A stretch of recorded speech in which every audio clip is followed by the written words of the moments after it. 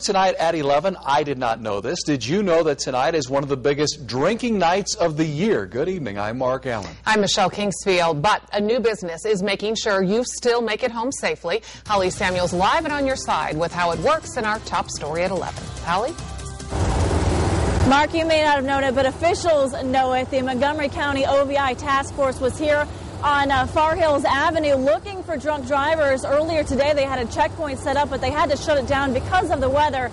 Still, driving impaired could put you in jail, and now one very young entrepreneur from the Miami Valley is giving drivers another option.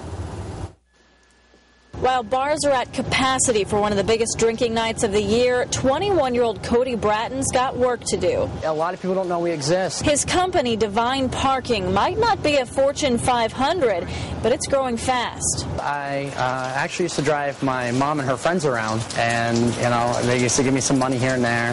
And I said, you know, this would be a great idea. Bratton started the company before he was of legal age to drink, and now he's a designated driver for hire. We're trying to, you know, in theory, save lives. Here's how it works. With a simple phone call, two drivers arrive at the bar.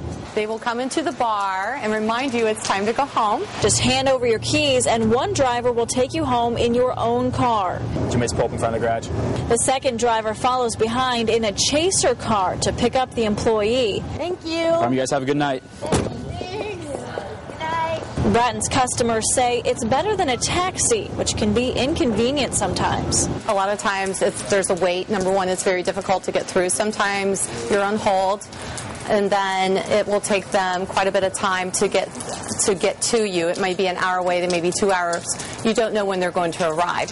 It forces people sometimes to actually drive home drunk, and, and we don't want that. The drivers would like about an hour's notice if you can give it to them. It's about $40 for that service for the drunk driving or designated driver service, and that's within a 20